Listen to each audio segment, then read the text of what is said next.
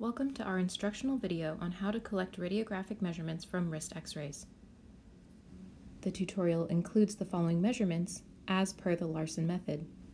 The first measurement is scapholunate gap, best visualized in a pencil grip view, which allows you to see the distance between the scaphoid bone and the lunate. You'll want to zoom in so that you can properly visualize the scaphoid and the lunate. Begin by using the annotate tool to draw a circle around the midcarpal joint. This circle should have the same circumference as the distal articular surface of the proximal row. When you're satisfied with this circle, simply slide it proximally until it lies at the midpoint between the scapholunate articulation. Lastly, measure point to point at the intersections between the circle and the borders of the scaphoid and the lunate.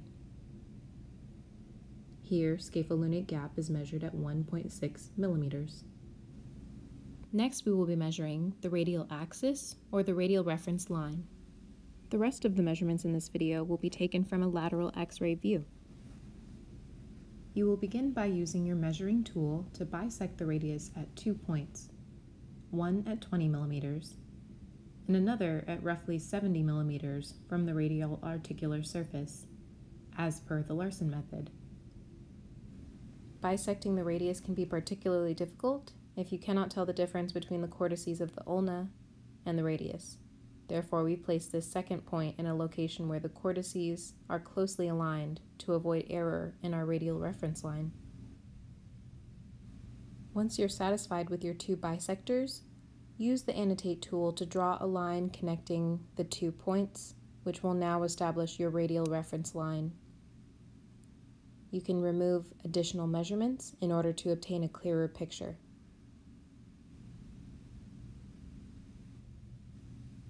Use the Annotate tool to draw a line along the dorsal cortex of the third metacarpal bone.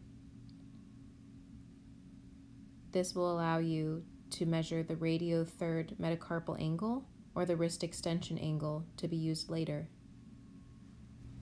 Here we'll demonstrate how to draw the tangent of the lunate as well as the axes of the scaphoid and the lunate. You'll start by identifying the dorsal and volar poles of the lunate, as well as the volar and proximal pole of the scaphoid. Begin by using the annotate tool to draw a line connecting the dorsal and volar poles of the lunate and extending it in the volar direction. And then, using the annotate tool, to draw a line connecting the proximal and volar poles of the scaphoid.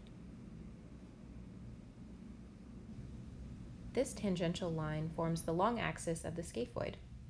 This is consistent with the Larsen method, which describes the scaphoid axis as the tangent of the palmar proximal and palmar distal convexities. The long axis of the scaphoid will be used to conduct subsequent measurements.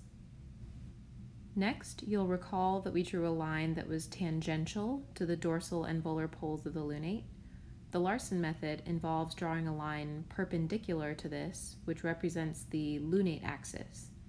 Both the tangential line and the lunate axis will be used for subsequent measurements.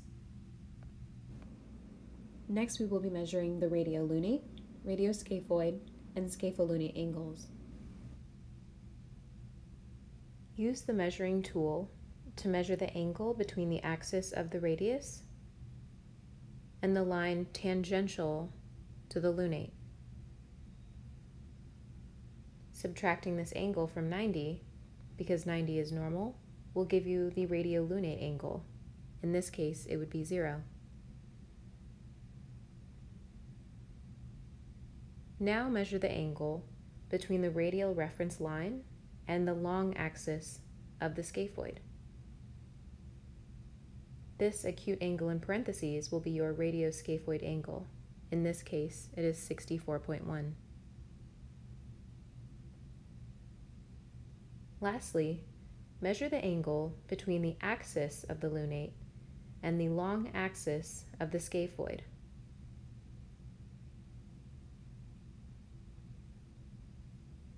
This will give you the scapholunate angle, and in this case it is measured at 64.6. Next we will discuss the corrected radiolunate and corrected radioscaphoid angles.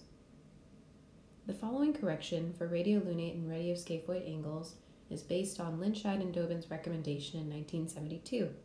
When taking x-rays, if the wrist is in dorsiflexion or palmarflexion, there can be a resulting displacement of the carpal bones and especially the scaphoid and the lunate. The angle between the dorsal cortex of the third metacarpal bone and the radial axis is known as the radiothird metacarpal angle or wrist extension angle. This can be plugged into the formula for corrected radiolunate angle, which is RLA minus one half of the radiothird metacarpal angle, or in this case, 3.6.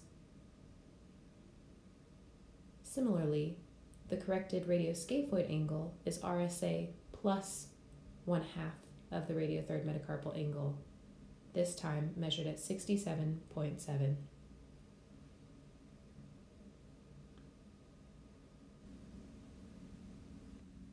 The final measurement that we'll be demonstrating is dorsal scaphoid translation, which overall is a useful radiographic parameter for scapholunate dissociation and is associated with postoperative wrist pain.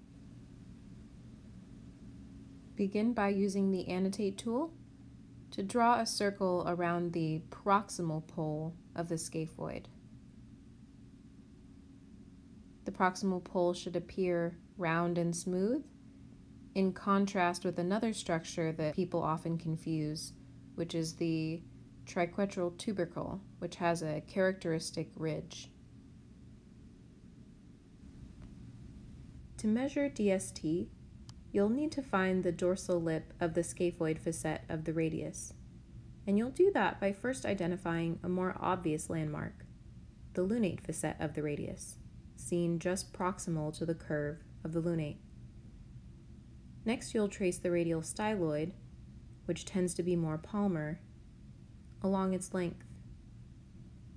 If we can identify a point that appears to be the dorsal lip of the lunate facet here, you can trace the radial styloid to a point more distal that appears to be the dorsal lip of the scaphoid facet.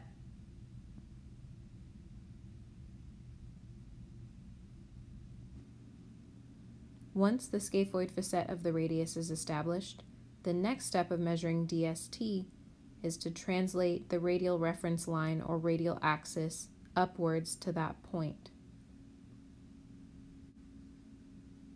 A normal wrist should have a DST score of 0, which means that your circle is still below the radial reference line that you translated upwards. If your circle around that proximal pole of the scaphoid lies above the radial reference line, this constitutes a positive DST score. Upon zooming in, you can see that our circle intersects with the radial reference line.